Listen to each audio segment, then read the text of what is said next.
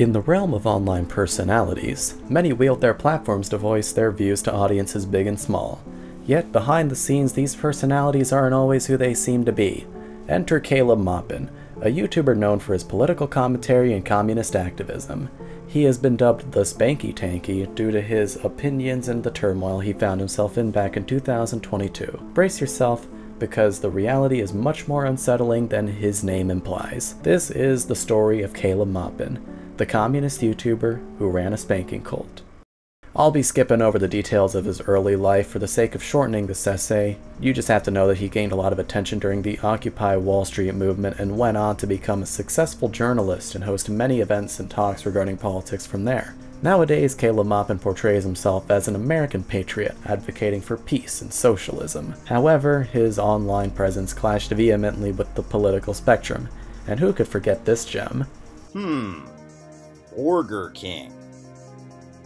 Caleb Maupin's political opinions also led him down the path of being an author, with one of his most famous books being Bread BreadTube Serves Imperialism, which is nothing more than a book where he roasts people he's gotten into beef with online. One can tell that his intentions are rooted in spite and not principle since BreadTuber Hbomberguy is not given any meaningful criticism despite being one of the largest BreadTubers out there. With his authorship shriveled to the point where he writes full-length books roasting YouTubers and streamers, that's not even his most embarrassing book. His modus operandi with authorship seems to be adding a prelude to other people's existing work and passing it off as his own. Being a rather embarrassing author, that leaves him with one more thing to touch upon his leadership. At the core of his misdeeds lies one of the groups that Caleb Maupin founded, the Center for Political Innovation, or as we will be calling it, the CPI. On the surface, the CPI champions anti imperialistic ideals, an appealing notion for many viewers. Imperialism, for those who don't know, is the practice, theory, or attitude of maintaining or extending power over foreign nations, particularly through expansionism, employing both hard power and soft power. Opposing this might sound all good to you, but their anti imperialism isn't a blanket stance. It primarily targets American imperialism.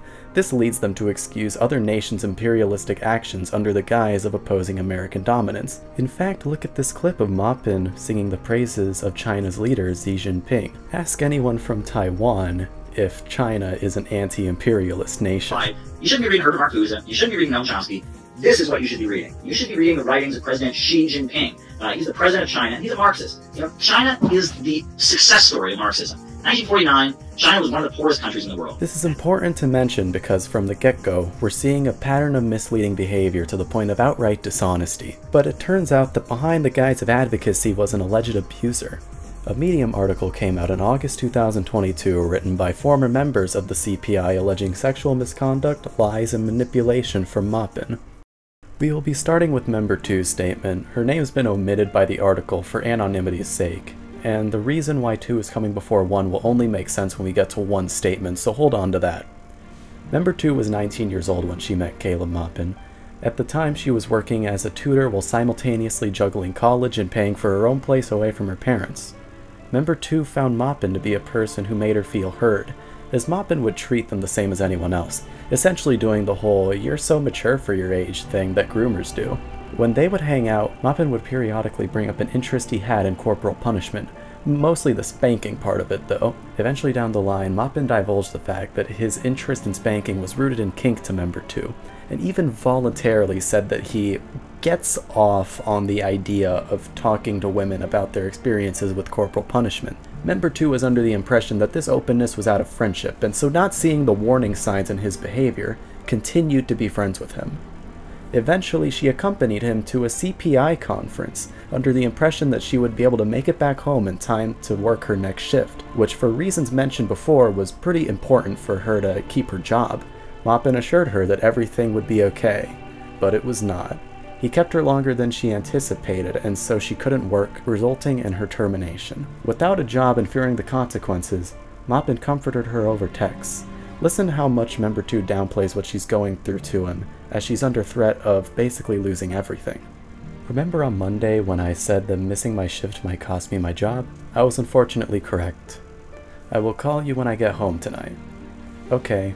I'm really sorry, Caleb. I'll do my best to find another job. Why are you apologizing? You're doing your best. I'm really sorry this happened. I will try to help you however I can. You will be okay. You are safe. How will your dad's credit being affected prevent him from making mortgage payments? He's on a mortgage that has some kind of variable rate, so if his credit goes down, his payments go up.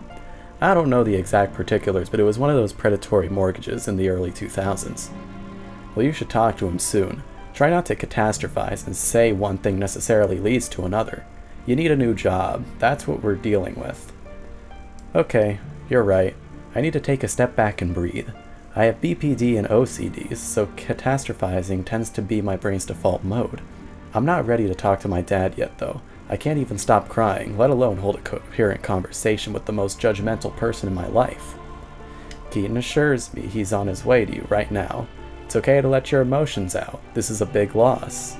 I'm about to go out to see him. Thank you for helping to comfort me. I really appreciate it. We are your friends, and we will not abandon you. That's very reassuring to hear. At least I'm not alone in this. Fortunately and unfortunately for her, her living situation did change before the conference, so she was living with a group called the John Brown Volunteers, which is a group in the same vein as CPI, so I won't bother going much into depth about them. In this living arrangement, she would pay rent to Caleb Maupin, roughly 200 bucks a week with her tutoring job and canvassing she would do. With the tutoring gig gone, the caveat with canvassing was that half of earnings from canvassing would go to Maupin, and canvassing doesn't exactly make much money at that, with member 2 estimating maybe a hundred, uh, and at the lowest $30 a day. To make matters worse, member 2 practically supported the volunteer she was rooming with financially via household expenses. So naturally, when Maupin expected her to keep this up with the power of more canvassing, or uh, not very steady income, she sought real employment, but he wasn't having any of that. Caleb Maupin made it clear to her that it was all or nothing with political advocacy and she'd have to commit full swing. Member 2, we should talk later, but it basically gets down to this. You're in a situation where you know your housing and food will be taken care of. You will not be left out to dry. However, you have some rather unrealistic expectations about other stuff you insist is absolutely need. Your life is your life, your decisions are your decisions, but you need to figure out how dedicated you are to communism, and if you're ready to leave your old life behind or not.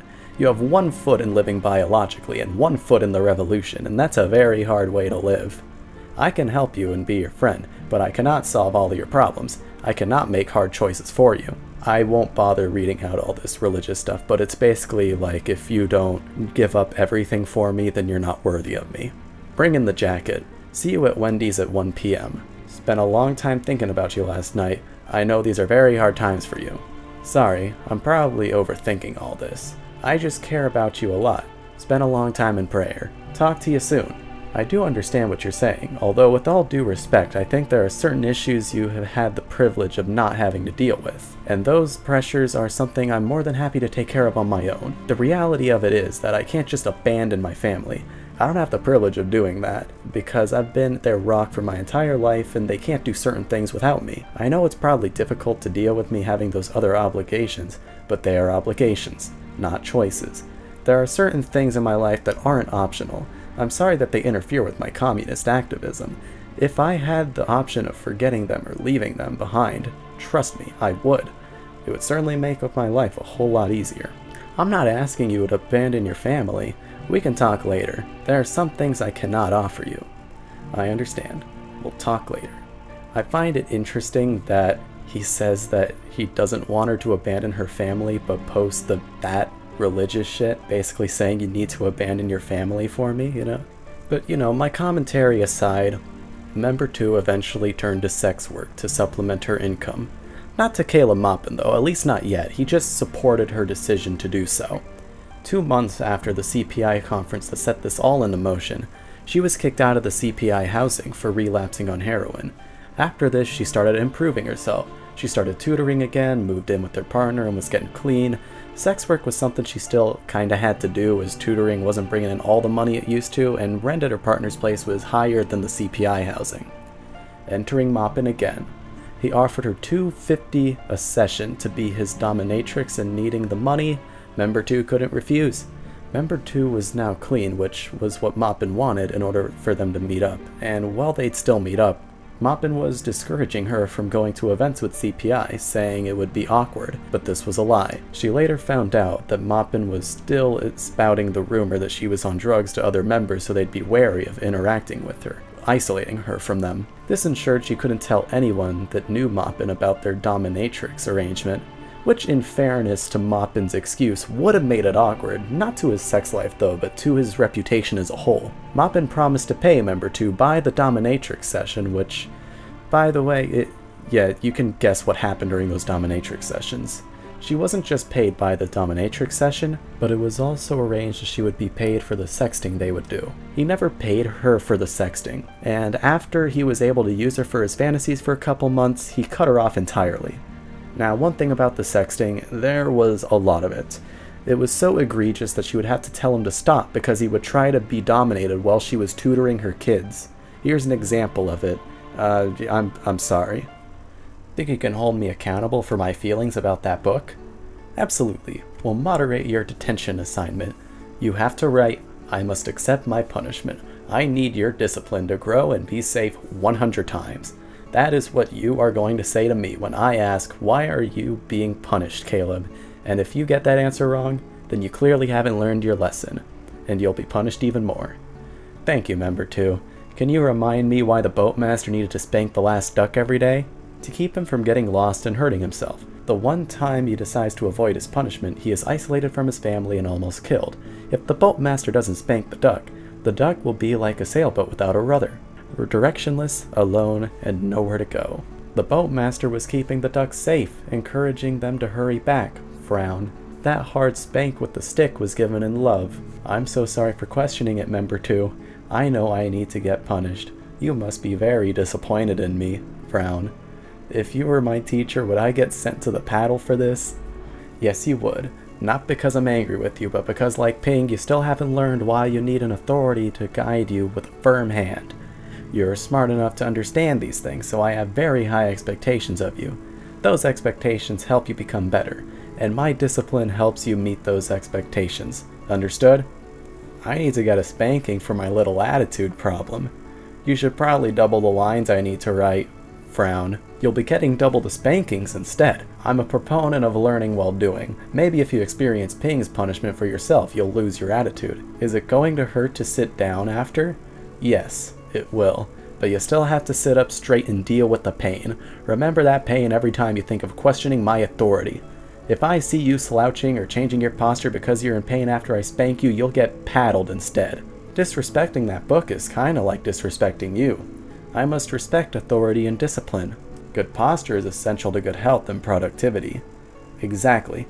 Disrespecting any form of authority and discipline is disrespecting me, and I am not forgiving or kind when I am disrespected. My dad should have put me over his knee more often, taught me not to have this disrespectful attitude. You should spank me really hard.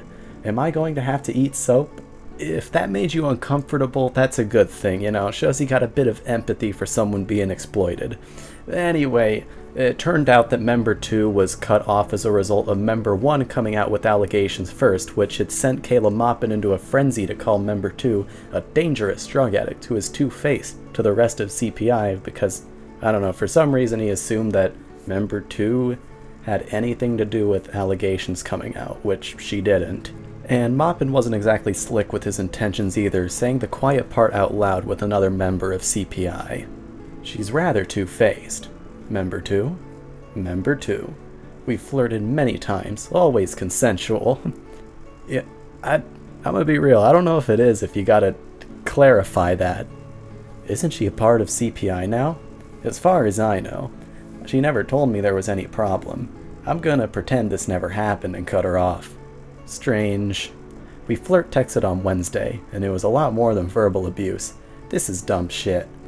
And in spite of everything, Member 2 was still supportive of Caleb until one straw finally broke the camel's back. A member of CPI named Joey, also known as the Yankee Tanky, came out with allegations against another member of CPI named Keaton. Desperate for the video to be taken down, Maupin crawled right back to Member 2 trying to get her to convince Joey to take the video down, because he had talked about Member 2's personal life in his hit video. Member 2 did have issues with Keaton that were just like Joey had talked about, so she figured the video should stay up to expose Keaton for the man he was. And Maupin didn't exactly take kindly to this, calling Member 2 obsessed with the past, which only stood to officially turn her against him. She ends her statement by saying that if he could callously abuse, manipulate, disregard, and shun a determined group member and close friend after almost half a decade of loyal service, there's no telling what else he's capable of. And while we don't know the extent to what else he's done, we do have the perspective of many former members of CPI, including Member 1 who in the last statement was the first one to come out. Member 1 is being kept anonymous in the article for the same reasons as Member 2. Member 1's statement begins in 2017 when she was 22 years old, having just joined a group known as Students and Youth for a New America, SYNA for short. SYNA was another group founded by Caleb Maupin, and they would host conferences, food drives, laundry drives, cool activist stuff. And since Caleb Maupin had a steady source of income, he was able to spend disposable income on spaces to host these events. Given he was the financial backing to the group, he made sure people got his permission before making activism decisions for themselves, which would be understandable, you know, given he's the leader of the group, so he should have a say in what the group does. And, you know, that's all fine and good, in my opinion at least, if he didn't then subject people who would go and do their own thing to rumors being spread about them. In 2018, Maupin gave Member One news about his fascination with the world of spanking and his own experiences with it growing up, citing being spanked in school and also being bullied growing up, which, you know, who could have guessed this guy was bullied in school? More detail, though, was that he would see a dominatrix twice a month to get spanked, which wasn't Member 2. She didn't start spanking him until 2021. Member 1 was put off by this, but like Member 2 had, the red flags were misinterpreted as being friendly and maybe a little awkward. What went too far, though, to Member 1 was when she was also told by Maupin about his tendency to ask women about their experiences with spanking and how he would later get off on it, much to her disgust. A manipulator trick Maupin would do on Member 1 was to bash himself for being socially awkward so she would be forgiving of his tendency to bring up spanking in conversations. And while she wasn't entirely forgiving, she wrote more than once about trying to have empathy for him on account of his awkwardness at the time. A pattern of behavior emerges again, with Maupin having a tendency to gossip to group members separately to get them to think less of each other, which culminated in group members rarely talking without Maupin around. This matters because this is why Member 1 was hesitant to ask Maupin to calm the spanking talk down, since he could easily then kill her reputation with the other group members, knowing how he would shit talk the other members with her. 2019 came around and Maupin wasn't exactly any better with his habit of talking about spanking. He had hatched the idea of a social media coach and would always talk about it, and while that sounds like something an influencer of Maupin's size would reasonably look into, you're not even to guess what he wanted the coach to do. That's right, he would want the coach to shame him for not being big enough on social media and to spank him for it and make him pay. Monetarily, that is. Member 1, not being a complete fucking idiot, knew what this was and would always try to deflect this idea whenever he'd bring it up, even trying to lead him to an app where he could find someone else to do that for him. And it was starting to get annoying, but Maupin would always pull the you're such a good friend act out to get her to feel bad uh, when she would be annoyed. Eventually, on April 17th, Maupin sent this message to Member 1, where he says he's going to bring up the social media coach idea casually to an old roommate. Bottom until it's red and bruised doesn't arouse you, so you won't do it with passion. Right, and I know there are things too like financial domination and stuff, but yeah, I'm not very passionate about it. So in the end, I felt like I would be wasting their time and money, and I would go through a lot of effort for something that makes me feel gross, because I had imagined most clients are not young or attractive. My old roommate, she seemed interested in some of this. I'm going to casually bring up the social media discipline thing when I see her next week. Not directly ask her, but casually bring it up. See how she reacts. Which, uh, fucking slick. Yeah, nothing to lose. I can't do that for you, just so you know. Only because you have mentioned it to me. Lol, lol, lol, I wasn't propositioning you. Don't worry, we are comrades. I don't bring this stuff into politics. Her honest reaction to that information was to tell him that she had no interest in being his prostitute. Maupin ended this interaction by complimenting Member 1 on how great of a worker she is, escaping Member 1 actually thinking about what he was doing by flattering her. From then on, he would talk more about political topics, though one time he did try to bring up his dominatrix stuff casually just a couple days after those last messages. It can't be confirmed for sure, but she seems to believe that he would constantly bring it up to make her insensitive to it and more likely to do it for him, which, hey, I believe it. I hope you guys do too. This seems like a pattern of behavior with this guy.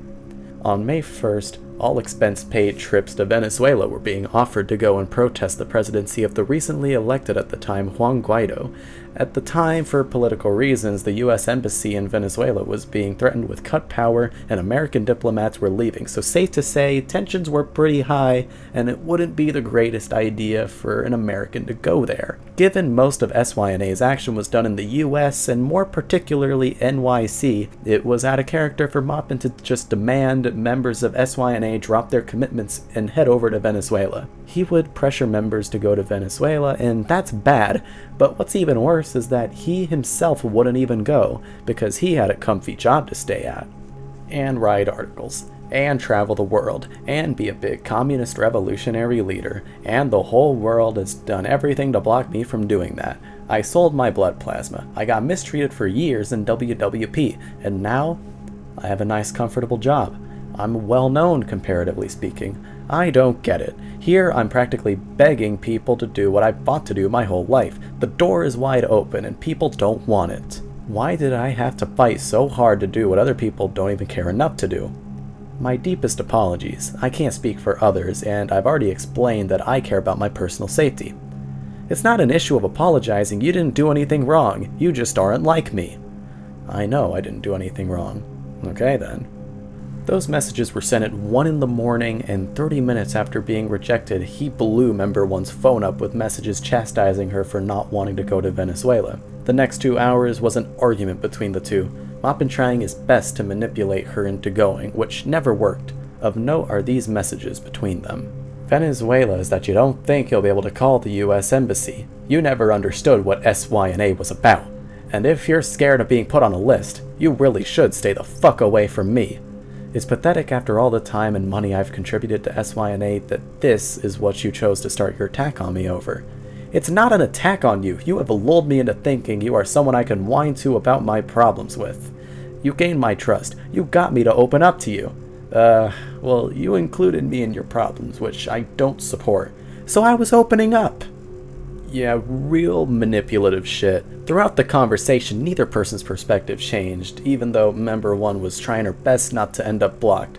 This was because, in total, she had spotted him $157 over the course of them knowing each other, because Caleb Maupin was always running out of money, and she knew if she was blocked, then she wasn't getting that shit back. In the SYNA group chat, member 1 posted the logs of the argument, which no one supported her because they had no clue what the fuck was going on, and of course, she was promptly kicked by Maupin. With that, she was out, and despite other members' confusion at who they thought was such a hard-working member, they never spoke out against it. And since Caleb Maupin ran the whole operation, Member 1's time with SYNA was over. Member 1 holds the opinion that she doesn't find it to be a coincidence that Maupin started a huge argument with her conveniently right after she turned down any possibility of herself spanking him. The time frame of the great spanking rejection and the Venezuela argument was like two weeks, so not that much time. Naturally, it makes sense he would then just find something to rile her up over and have an excuse to kick her out, since she no longer had a chance of being of service to him. After Member 1's ejection, when people who knew her asked where she went, Maupin would make up different stories about her having alcoholism to discredit her and try to explain away her leaving. There were inconsistencies found in his stories, though, some were told that she quit because she was an alcoholic, and others that she was kicked out because she was too distracted being an alcoholic, and yeah, she was kicked out. You know, for reference, member 1 does not and has not struggled with alcoholism. In March of 2019, one month before the great spanking rejection. Member 1 noticed a new member of CPI was getting more attention from Maupin than usual. The thought had entered Member 1's head that this new member was going to be put through the spank talk ringer, or that they would even be abused. Their thoughts were not inaccurate, as this member turned out to be Member 2, whose statement was read right before this one. Since nothing bad had actually happened at this point, Member 1 never warned Member 2, and she never learned of how bad it really was until they connected to write this article against him. Member 1's guilt still consumes her, but as she put it, I would have seemed crazy if I warned them. As I've said, there are many other perspectives laid out in this article from others that entail the same manipulative patterns of behavior from Caleb Maupin. And I will be linking the Medium article in the description just so you can make sure I'm not misrepresenting anything that these victims said. Though be aware it's a pretty long and quite upsetting read. One man spanking kink led others down horrible paths that I wouldn't wish on anyone. Regardless of political opinions, this is disgusting behavior and has no place in advocacy. I don't even agree with the politics of the people who wrote this, but that does not make their stories less valid. But what if I told you it doesn't even end here? After this article dropped, CPI met and elected to expel Caleb Maupin on account of his misdeeds. Sounds like a bit of accountability being taken by the organization against such an evil person. CPI even dissolved itself. That's how accountable they were being, right? Well, it turns out that three months after the article was published, Maupin made a video titled Time to Finally Talk About What Happened. And yes, I had to watch it. The shit I do for you guys. They were determined to go public with this document. Why? Clout. They wanted to get more likes, more shares, more Facebook views, more attention. I would have preferred to keep this private, but it is now all over the internet. Now, spanking isn't just my deep, dark personal secret, it's America's deep, dark secret. 19 U.S. states still allow for corporal punishment in public schools. Furthermore, the way we practice corporal punishment in Anglo countries has a particularly sexual undertone to it. Pain is inflicted on a specific part of the body. It often includes forced nudity and other humiliation. I will link the video below just so you can be sure I won't misrepresent anything he said in this 26 minute response video. Though, be warned it won't make a lot of sense if you haven't read the entire hit article. So back to CPI. It's back, and Caleb Maupin is the leader once again. The previous solution was only performative and just for everyone else to get the illusion of accountability from them.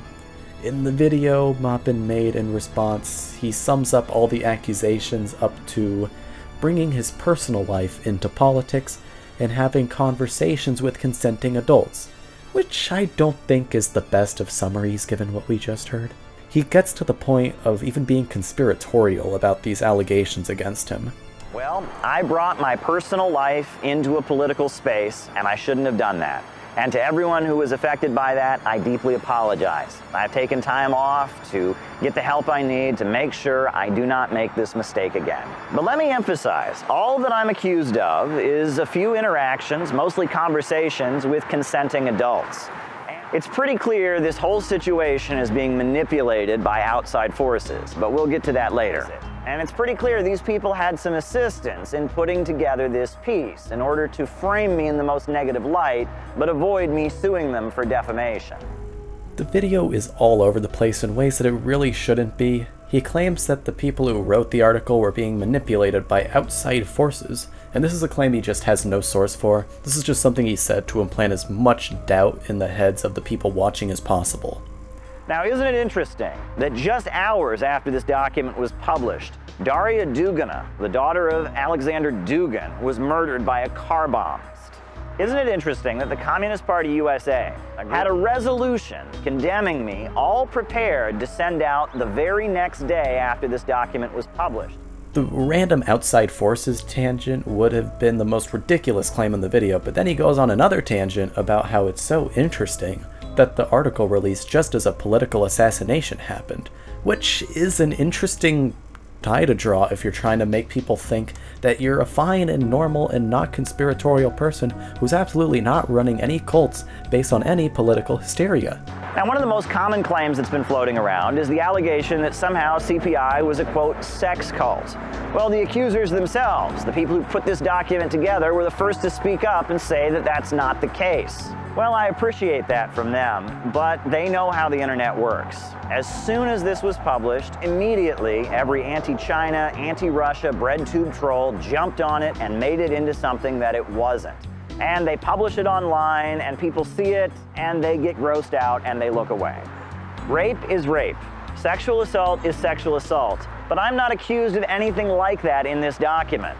When it really gets down to it, this document doesn't really accuse me of very much at all. Amid all the innuendo about me being an evil, manipulative cult leader, all that they claim I did was engage in consensual interactions with two consenting adults, most of which were just conversations. Uh, and he also plays the pedantry card by saying that the document never explicitly called him a sex cultist, and so it would be inappropriate to call him that. And this is true. The article never actually does call him a sex cultist, though he did exhibit a, quite a bit of cult-like behavior and had very strange sexual exchanges using his position of power over his subordinates. Treating political activism like an in-group to maintain exclusivity over and isolating your own members to take advantage of them while they're alone is some pretty cultish shit, and I'd hope you guys would agree. Now, in addition to the sex drama, the document goes on to imply a number of things that are just not true. Uh, one of the biggest false narratives in the document involves an unnamed person who is referred to as a heroin addict and a sex worker. Now, this document gives the impression that this person never would have been a sex worker, never would have relapsed in their heroin addiction if it wasn't for me. The document basically says that I maniacally conspired to make this person lose their job, to make this person relapse on their heroin addiction, all so I could have them right where I want them. He does many other things here which make no sense, such as trying to say that he was accused of being the reason for Member 2's heroin relapse. At no point in the video did I hint that Maupin was responsible for this relapse, and that's because the article didn't do that either. I didn't even have that idea in my head until he said it, and something makes me doubt you guys thought that as well. I personally had thought the relapse was just something that happened separate from the living conditions Member 2 was in, but seeing Maupin so defensive over something that was never even said is making me reconsider.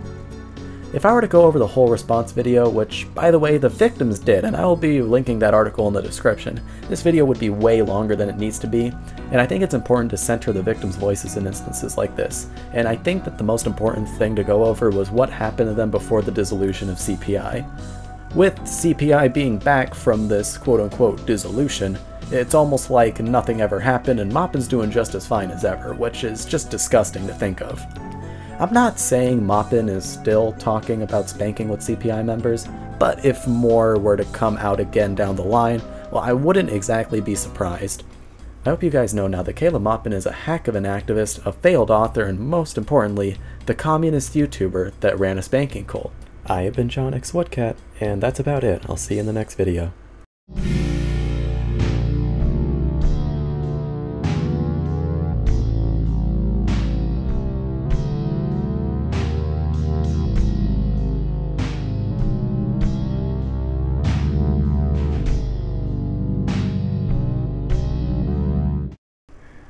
Think you can hold me? I can't.